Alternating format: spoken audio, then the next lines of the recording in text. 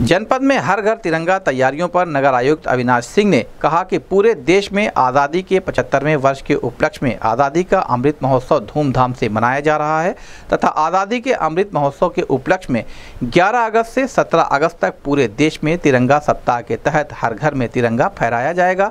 इसी क्रम में गोरखपुर नगर निगम के एक लाख दस हज़ार घरों पर तिरंगा वितरण किया जाएगा, जिसके लिए सभी तैयारियाँ पूरी की जा चुकी हैं। इसके साथ ही 11 अगस्त से 17 अगस्त तक लगातार प्रतिदिन देशभक्ति की भावनाओं से जुड़े हुए बहुत से कार्यक्रम आयोजित किए जाएँगे। उन कार्यक्रमों में तिरंगा मैराथन, कवि सम्मेलन, संगोष्ठी, जो कि स्वतंत्रता संग्राम आंदोलन की झलकियाँ दिखाती हैं, आयोजित किया जा रहा है।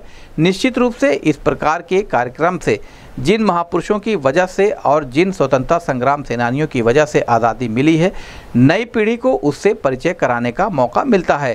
साथ ही जिस प्रकार से आज़ादी हम लोगों को इतनी मुश्किलों से मिली है, उसको बरकरार रखने के लिए उसको अक्षुण्य व अखंड बनाए। रखने में हमें क्या करना होगा, उसके लिए भी हमें मार्गदर्शन मिलता है।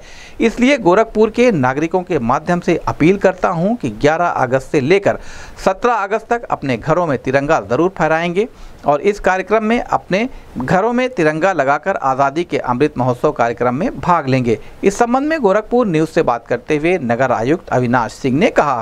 पूरे देश में आज़ादी के पचहत्तरवें वर्ष के उपलक्ष्य में आज़ादी का अमृत महोत्सव बहुत ही धूमधाम से मनाया जा रहा है और आज़ादी के अमृत महोत्सव के परिप्रेक्ष्य में ही दिनांक 11 अगस्त से लेकर 17 अगस्त तक पूरे देश में तिरंगा सप्ताह, हर घर में तिरंगा कार्यक्रम बड़े ही ज़ोर सल्लो जोशो खरोश के साथ मनाया जा रहा है। नगर निगम गोरखपुर ने भी पूरे नगर निगम क्षेत्र के भीतर लगभग एक लाख दस हज़ार घरों को तिरंगा राष्ट्रीय ध्वज उपलब्ध कराने का संकल्प लिया है और उसके लिए समस्त आवश्यक कार्रवाई पूरी की जा चुकी है। इसके साथ ही साथ 11 तारीख से लेकर 17 तारीख तक लगातार प्रतिदिन देशभक्ति की भावना से जुड़े हुए तमाम कार्यक्रम जो है आयोजित किए गए हैं। उन कार्यक्रमों में तिरंगा मैराथन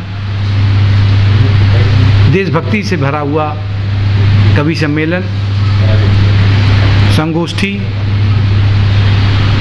अन्य कार्यक्रम जो कि स्वतंत्रता संग्राम आंदोलन की झलकियाँ दिखाते हैं, आयोजित किए जा रहे हैं और निश्चित रूप से इस प्रकार के कार्यक्रम से हमको जिन महापुरुषों की वजह से, जिन स्वतंत्रता संग्राम सेनानियों की वजह से आज़ादी मिली है। नव पीढ़ी को उसे परिचय कराने का मौका मिलता है।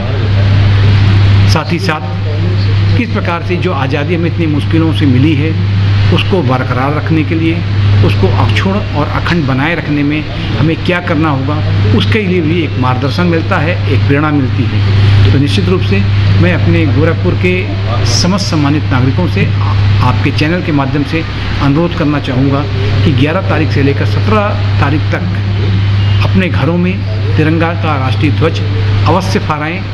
और इस राष्ट्रीय कार्यक्रम में सरोकार होकर देश के प्रति अपनी निष्ठा को सबके सामने प्रदर्शित करें। अगर तिरंगा झंडे में किसी भी प्रकार की कोई दिक्कत होती है मिलने में या कहीं किसी अन्य समार समस्या में, हम लोग अपने प्रत्येक पार्षदों, साथियों को बड़ी संख्या में झंडे दे रहे हैं। जिससे कि वो तिरंगा दे रहे हैं, जिससे कि वो अपने वार्ड के समस्त घरों में उन तिरंगा ध्वजों को फहरा सकें। लेकिन इसके बावजूद अगर किसी को कोई दिक्कत होती है, तिरंगा ध्वज मिलने में परेशानी होती है तो वो नगर निगम आकर, अपर नगर आयुक्त साहब, जिनको कि नोडल अधिकारी बनाया गया, उनसे मिलकर वो अपनी समस्या का समाधान करा सकते हैं। एक बार पुनः मैं सभी से, लोगों से अपील करूँगा कि आज़ादी के पचहत्तरें वर्ष में हर घर तिरंगा कार्यक्रम में अपने घर पर तिरंगा लगाकर इस कार्यक्रम को पूर्ण रूप से सफल बनाएँ।